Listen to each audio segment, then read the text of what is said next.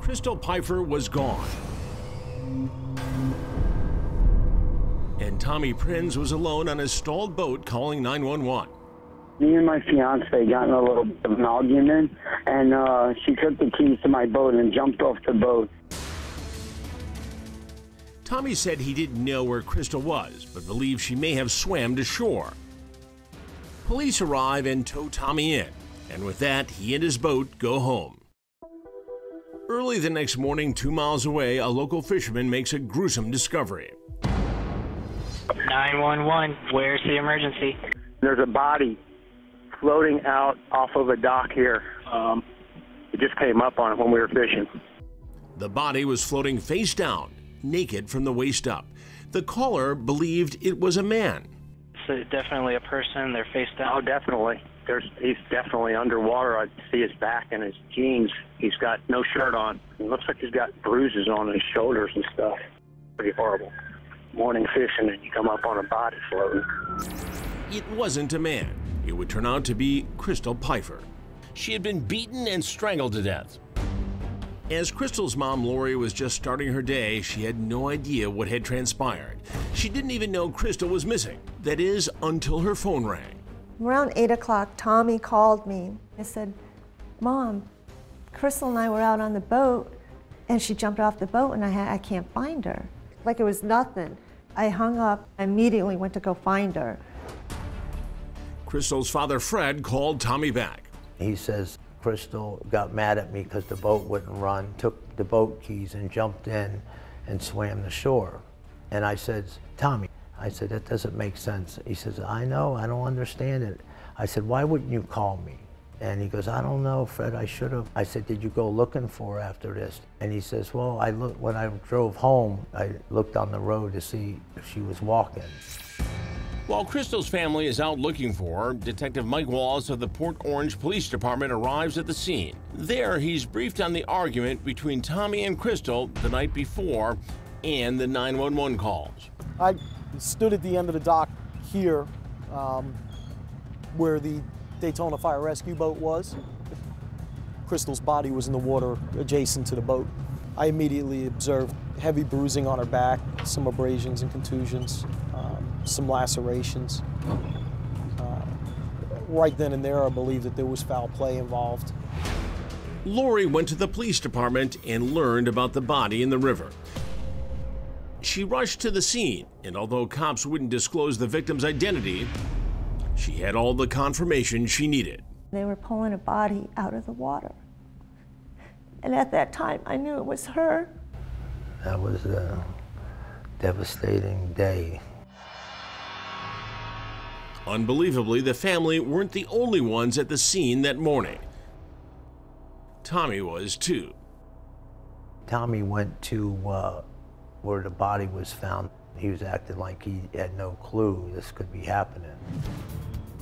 Armed with the 911 calls from the night before and the positive ID of Crystal, detectives had a suspect list with only one name on it. At that point, Mr. Prinz was our main focus.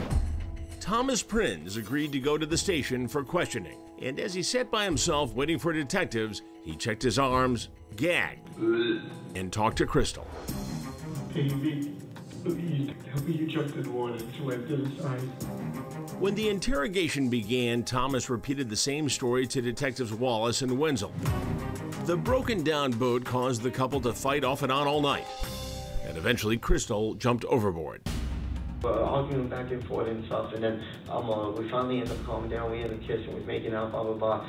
And I said, "Baby, the boat's gonna stop." We decides to just uh, um, uh, says, "I don't want to deal with this no more," and uh, takes my keys and jumps into the friggin' water. And I'm screaming. I'm like, "Baby, are you kidding me?" I was like, "It'll start up. We're, we're almost there." And then uh, that was it. I kept on hearing her swimming, and then uh, I didn't hear nothing. And then that's when I waited about like maybe 10 minutes and then call, uh, ended up calling uh, 911 and say, hey, listen, me and my girl got an accident. You got an accident? What? Is that what you said? No, I said that. I said that me and my girl got into an argument. Oh, argument. On- Okay, I'm okay. I said that. I have a feeling the argument on the boat was a little bit more elaborate than what you're describing. I mean, we, we powwowed and argued back and forth. I mean, like Do you y'all's said, we, ever get physical? no, no. scared. I And did you hear her out there? He said she kept punching her in the head and that he hurt her hand.